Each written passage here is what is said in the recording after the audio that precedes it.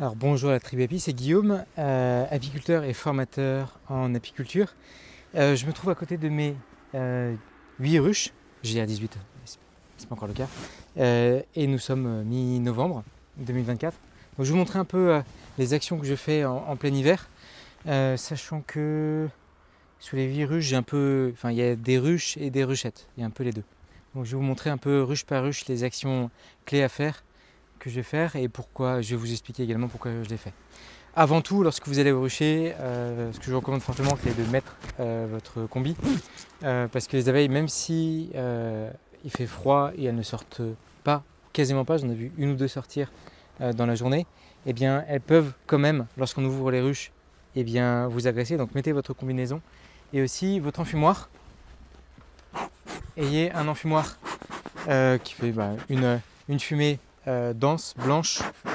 Oui, là il n'y a pas beaucoup de d'herbe, c'est surtout l'herbe sèche, pas trop d'herbe d'herbe verte. euh, J'en rajouterai. euh, afin de pouvoir visiter vos ruches. C'est vraiment impératif, même si c'est pour des visites très courtes. Longtemps j'ai regretté après une visite d'avoir complètement mis de côté mon enfumoir, alors qu'il est vraiment essentiel dans toutes les saisons. Voilà. Donc c'est parti pour aller voir les ruches. Alors première ruche, c'est une ruche sur 10 cadres il y a des partitions isolantes des deux côtés. Alors avant de tout simplement ouvrir la ruche, je la soupèse pour voir si oui ou non il y a besoin de mettre de nourrir. Euh, bah, pour la soupeser, en fait, un petit problème, c'est que les ruches sont très proches les unes des autres. Euh, je pense que je vais étendre un peu le rucher un peu plus sur la gauche.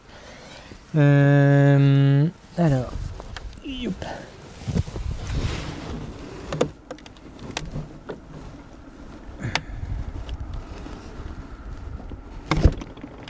Oups. Hmm. C'est un peu. Je la trouve un peu légère quand même.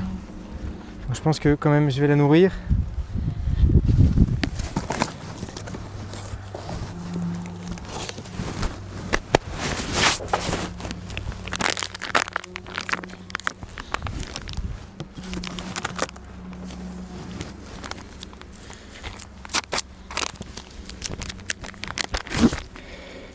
Donc pour le nourrir, là je vais, vu que c'est une grosse colonie, elle est sur euh, 10 cadres, je vais mettre un, un pain de candy. Bon qu'importe la, qu'importe la marque. euh, je fais un carré pour ouvrir.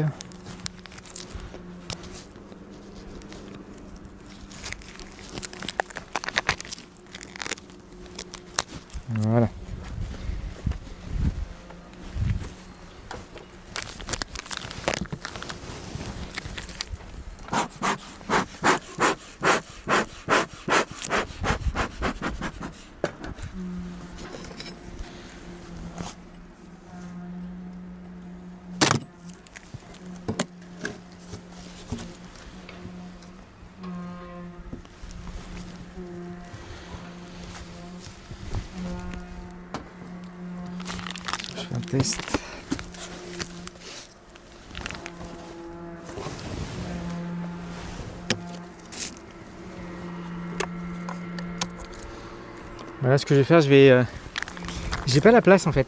Euh, c'est une question que je me posais. J'ai pas la place de mettre le pain de candy en fait. Euh, C'est pas. Quand on regarde vraiment plat, ça dépasse. Le pain de candy dépasse. Donc je vais mettre. je prends le nourrisseur, je le retourne.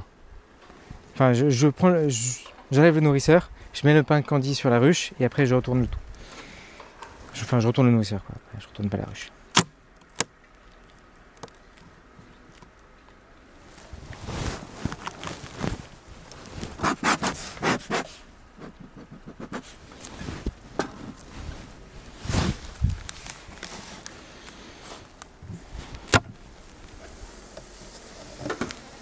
Regardez la belle grappe. Très belle grappe. Alors là, ce que je vais faire, c'est.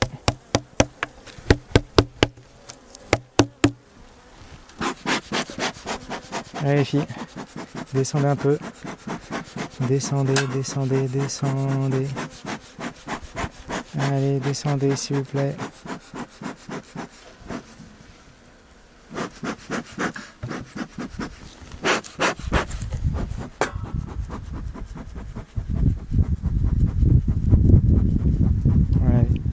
Là, je peux pas me poser en fait euh, pour l'instant parce qu'elles sont.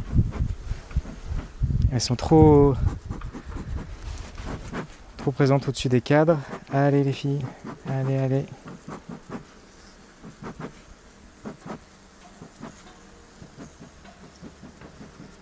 Allez, allez, c'est presque bon, c'est presque bon. Allez, s'il vous plaît, s'il vous plaît. Descendez, descendez. Descendez, descendez, descendez. Allez, filles. Je vais lisser les autres. Toc, toc, toc. Et voilà. Hop. Les autres qui sont dessus. Sur ce.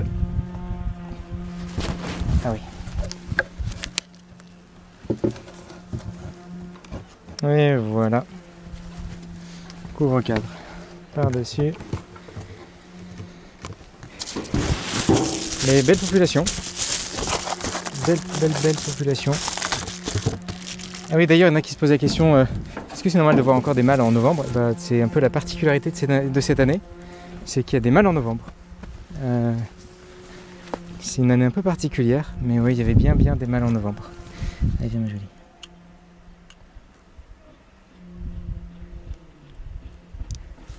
Regardez la pauvre. Tout. Elle a froid, elle a froid. Allez, viens, tu vas un TV là.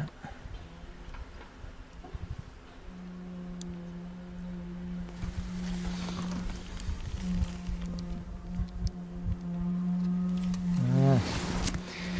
Suivante.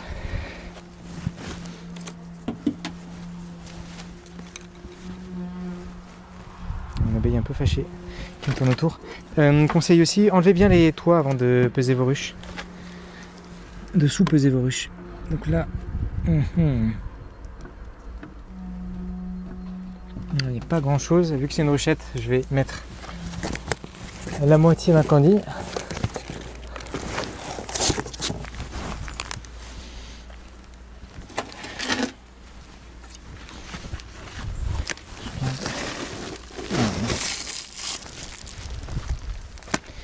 On va fermer cette ruche là.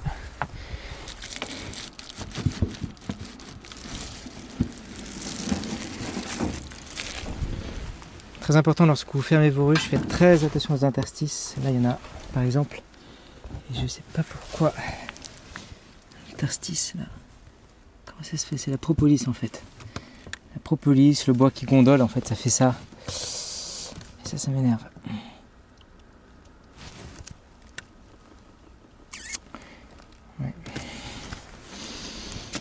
Bon,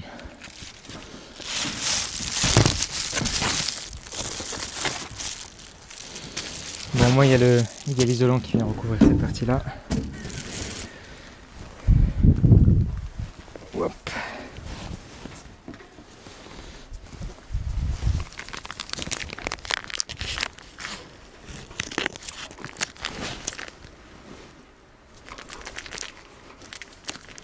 Le candy, vous, il est. Vous pouvez bien sûr le séparer. Vous pouvez le couper en deux ou en trois. Généralement, je fais en deux.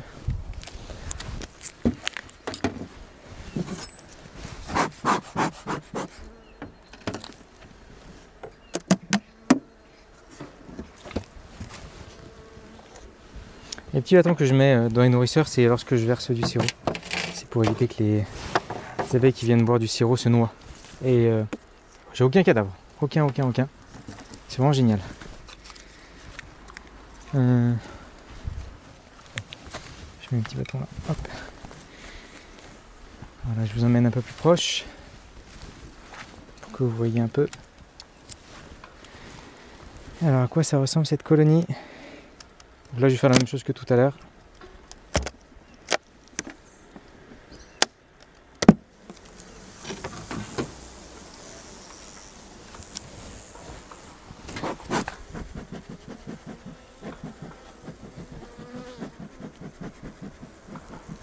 Là aussi très belle colonie.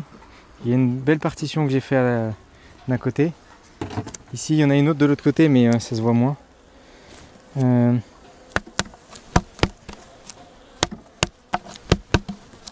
Secouez le, nourrisseur, faites bien attention à secouer au-dessus de la ruche. Et après, un petit coup de fumée pour que tout le monde descend. Allez, allez, allez.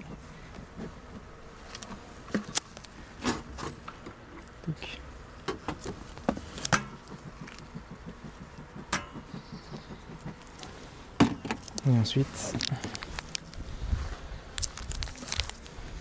du candy le plus proche possible du couvain. Voilà, le couvain c'est assez facile. Bon, compte tenu de la.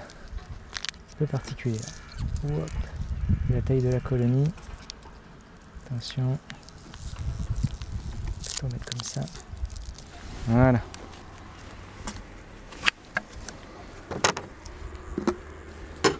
Voilà. Elle aussi, elle rentre.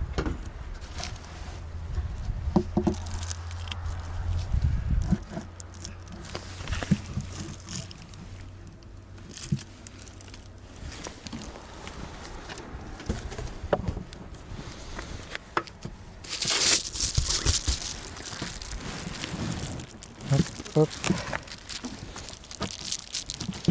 Et euh, si on peut se poser la question, pourquoi est-ce qu'on met des pierres sous les ruches Euh, bah, Forcément, euh, c'est pour éviter que, que les. J'ai déjà une colonie, en fait, avec le vent, elle peut totalement glisser. Mais aussi, un autre avantage, c'est qu'avec les pierres, lorsque vous mettez notamment des grosses pierres, ça vient en fait tasser et lorsqu'il y a une petite interstice, ça vient diminuer l'interstice qu'on peut voir parfois sur les côtés. Voilà, c'est un autre avantage.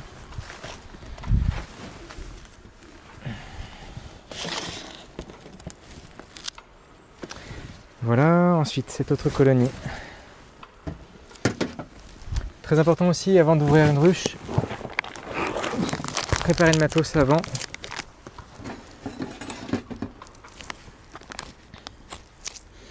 La question de ce qu'il faut nourrir ou pas, bah, ça dépend du poids de la colonie et euh, ça dépend aussi de la race. Euh, J'utilise des. Euh, J'ai des Buckfast. Euh, les Buckfast euh, consomment beaucoup en hiver. Contrairement à la baignoire qui consomme moins. Euh, J'ai des Buckfast. Voilà. Alors, par rapport à cette colonie.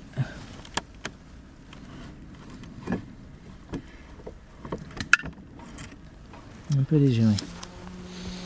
Léger, léger, léger. C'est parti. Ah, c'est ma jolie. T'es morte ou pas Petite abeille dans le nourrisseur. Voilà le type de bâton hein, que j'utilise. c'est- des bâtons euh, creux. Et regardez, quand je dis que j'ai aucune, euh, aucune noyade, c'est vraiment aucune. Là, l'abeille, elle, elle est en vie, hein. vous voyez juste ici. Et euh, ouais, aucune noyade, euh, aucune noyade.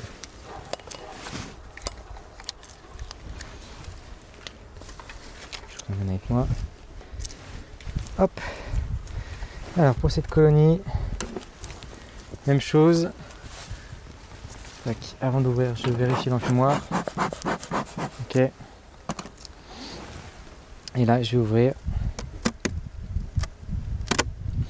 Très rapide. Petit, petite brise qui se lève là.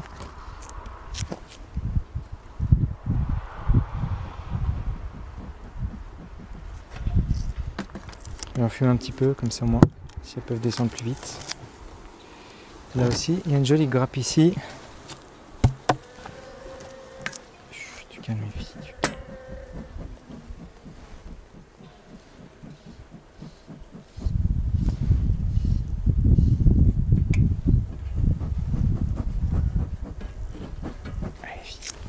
Bon là je vais mettre un... pas besoin de mettre un entier. Je vais mettre une moitié ici. Je vais la mettre directement là, juste à côté d'elle.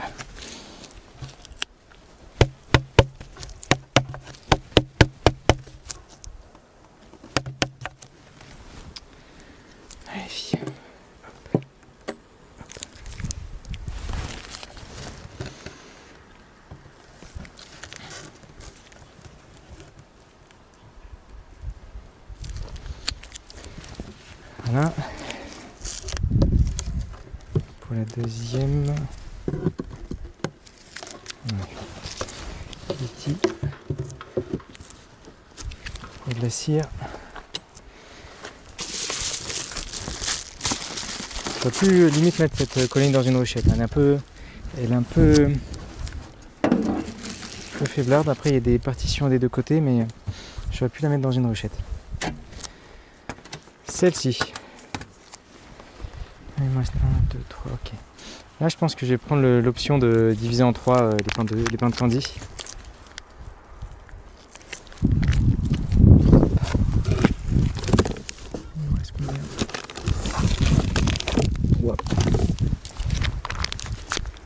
Là, c'est une toute petite ruche. Elle est sur 5 cadres, mais encore avec les.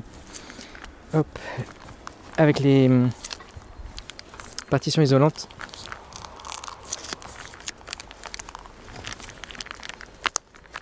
Hop.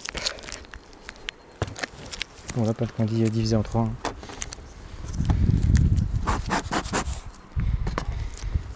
Donc là, même process. J'enlève le cadre, euh, le, le toit, pardon. Je sous-pèse. Très important. Ouais, légère.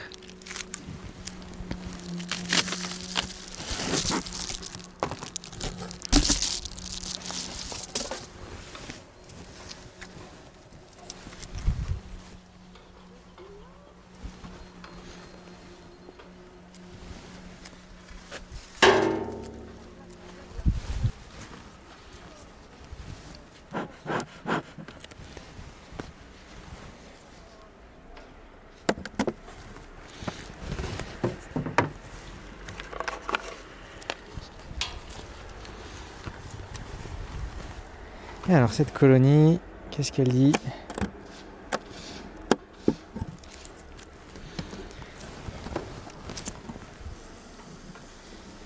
belle population aussi.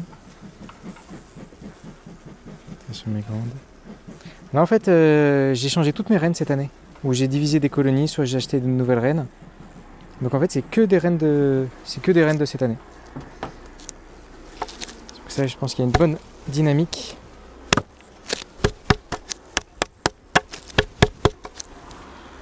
Allez ma chérie, hop. Écartez-vous s'il vous plaît. Allez, allez, allez. Allez.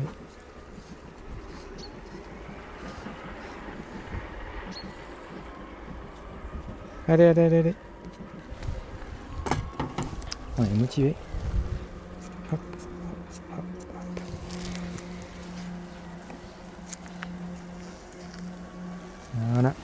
Eh bien, le, là, par exemple, si je mets le, le, le nourrisseur dans ce sens-là, ça va bloquer. Donc je le mets dans ce sens-là. Parce que je couvre.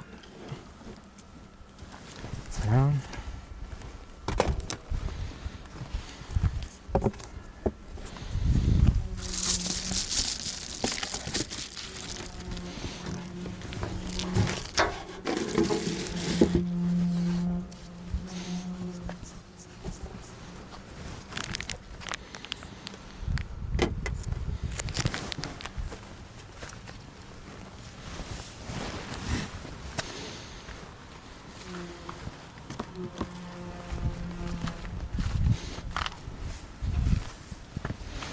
Ne lés- lésinez pas en, en poids sur vos ruches.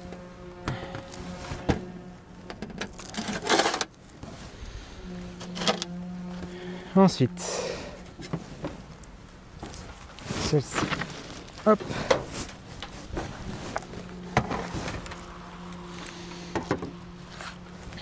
La même chose. Peser avant de nourrir. Là aussi, à nourrir. J'ai très peu nourri au sirop, c'est pour ça que je nourris beaucoup au, au candy. Je vous peu plus près.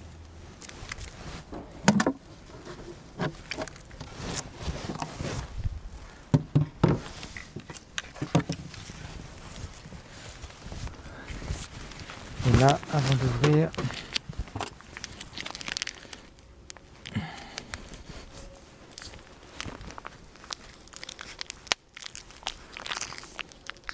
donc on dit que je divise.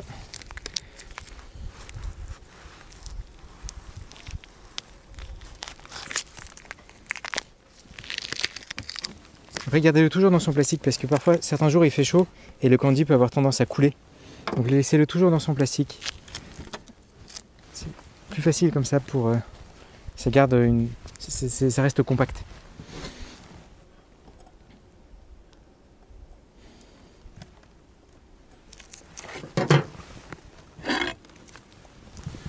Bien parce qu'il y a plusieurs ruches qui sont bancales.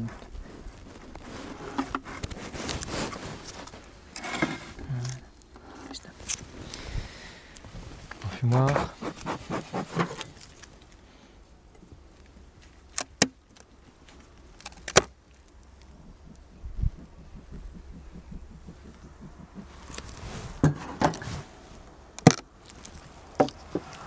Hum, regardez ça.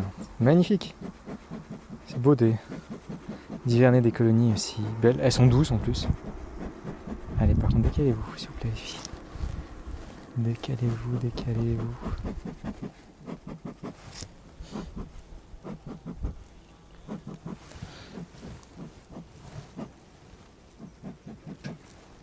Allez, descendez.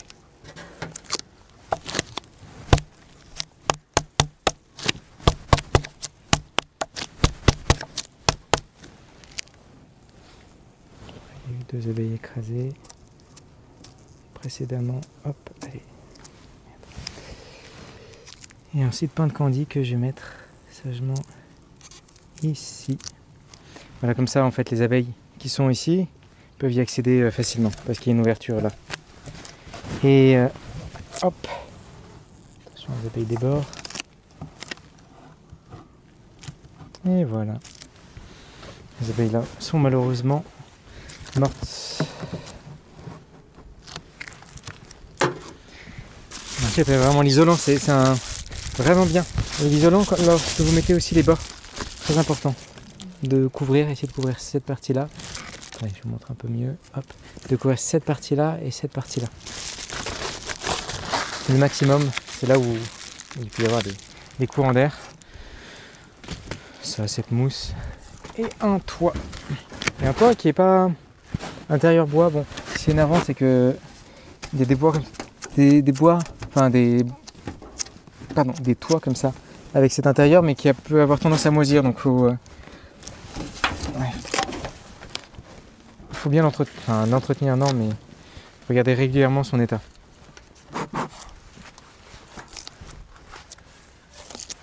Ensuite, c'était le caillou ici.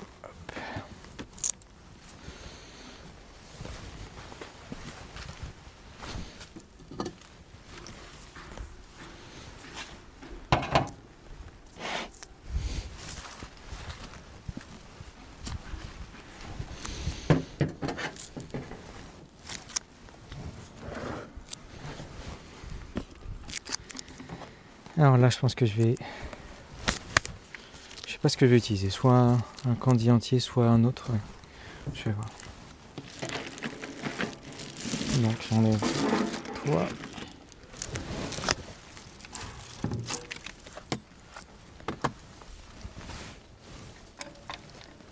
Hop, elle est par là. Et ensuite je soulève. C'est pas mal. C'est pas mal, c'est pas mal, c'est pas mal. Je vais quand même mettre un petit bout de.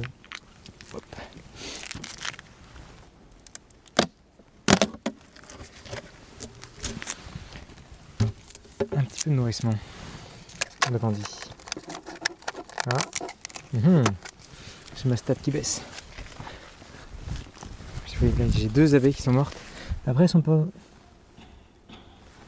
longues tirées. Je pense qu'elles s'est. Là, c'est plutôt morte de faim quand les abeilles ont la langue tirée.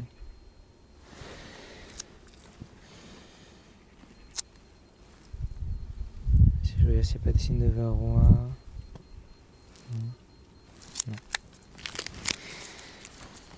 Et là, regardez, erreur. Quand j'ai refermé ma ruche, j'ai pas mis complètement bien dessus. Donc, ça, c'est une erreur. Un fumoir prêt derrière moi.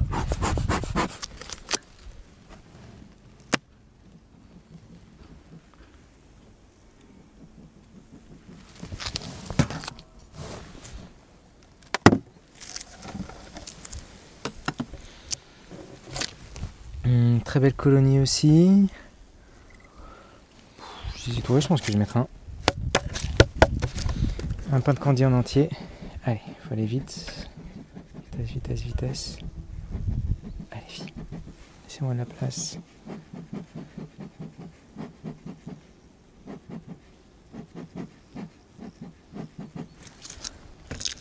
C'est impressionnant leur mouvement qui est tout lent. Il y en a certaines qui volent. Je pense que la prochaine fois je pourrais prendre une brosse pour enlever en fait toutes les abeilles qui se trouvent sur le sur le nourrisseur. Voilà. Tac, allez les filles. Pour vous nourrir.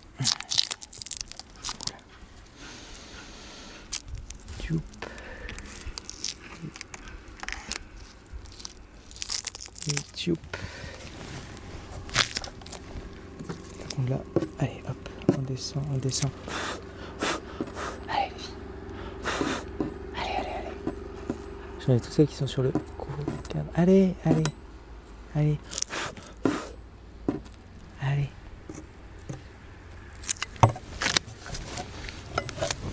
Mmh.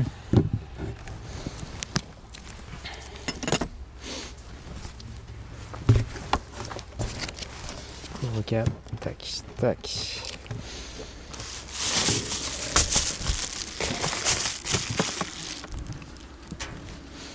Pas refaire la même erreur. Non, c'est le toit est bien mis. Et voilà.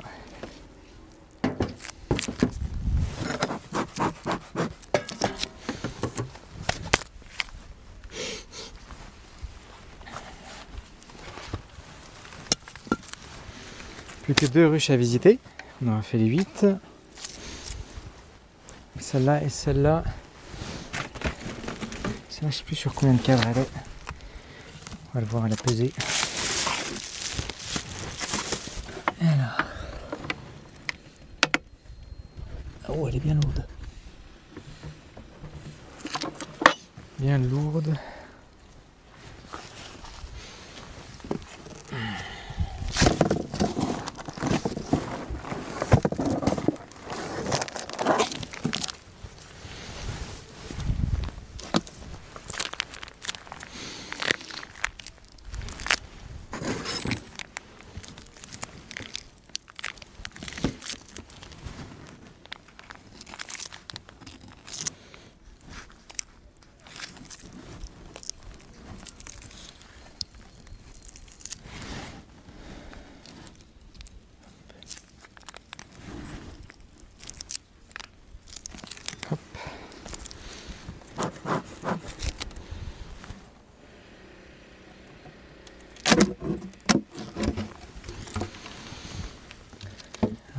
Petites abeilles.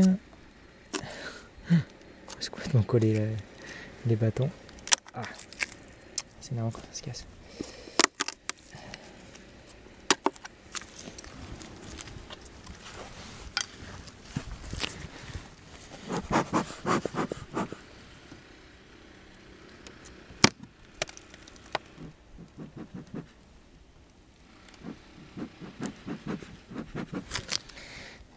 Qu'est-ce que ça donne? C'est toujours. Waouh, regardez-moi ça. Belle, belle, belle colonie.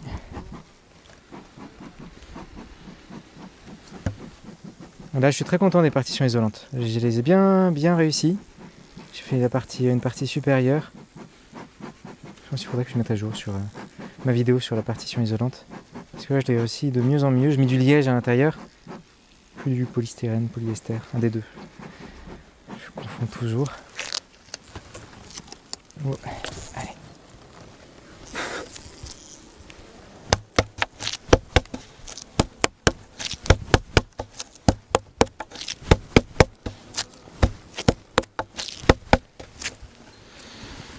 C'est vraiment mal au monde. Après, elles ont l'air bien Je pense que j'ai même pas besoin de les nourrir. Elles sont, il y a plein de, il y a plein de miel. Pas besoin là. Hop. J'ai bien vu que c'était. Euh, une ruche qui était bien, bien solide. Allez, par contre, hop, à l'intérieur. Ce que je vais faire, je vais simplement hop, fermer comme ça, mettre le nourrisseur au-dessus et les abeilles qui sont là.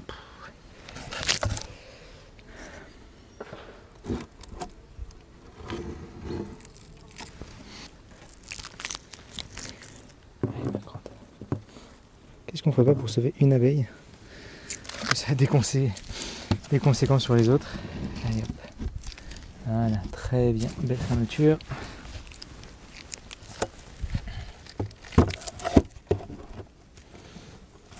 Hop.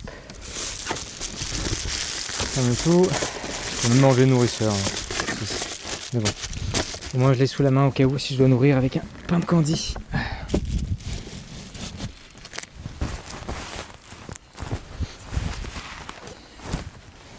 Et enfin, le, la dernière ruchette.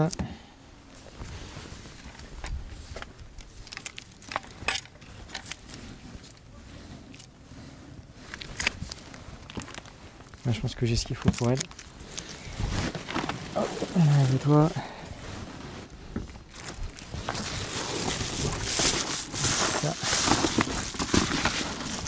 ensuite, la pesée du champion.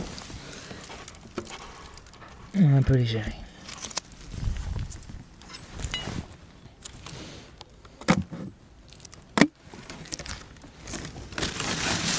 Hop.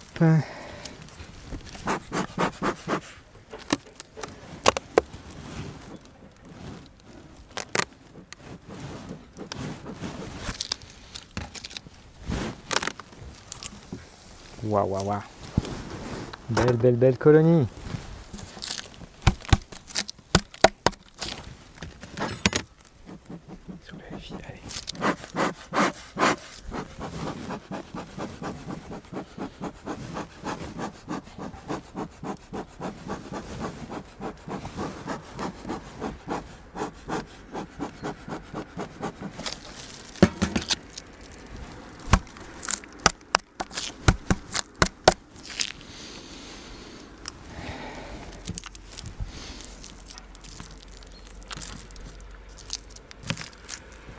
retourner, on va mettre comme ça.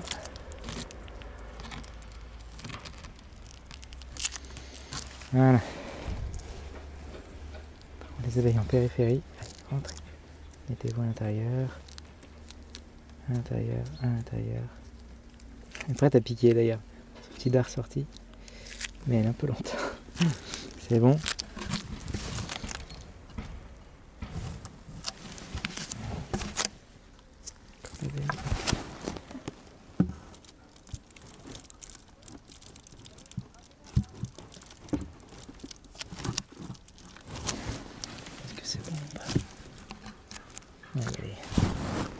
Partition qui me pas. Un peu embêtante. Je vais mettre un bon.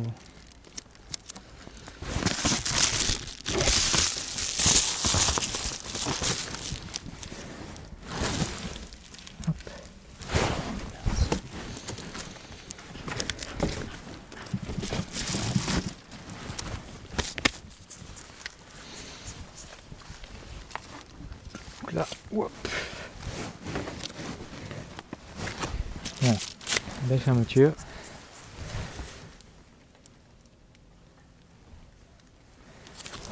Et voilà.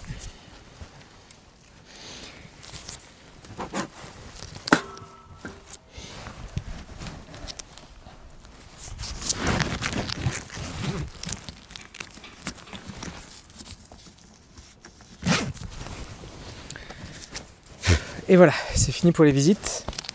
Ah, c'est collant, les candy.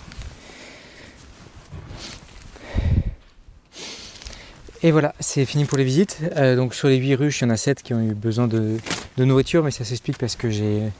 C'est des colonies jeunes, euh, c'est de la breakfast et, euh, aussi j'avais pas utilisé de. J'ai une petite abeille juste ici. j'avais pas utilisé de sirop. Je vais la mettre dans une ruche. Ça vient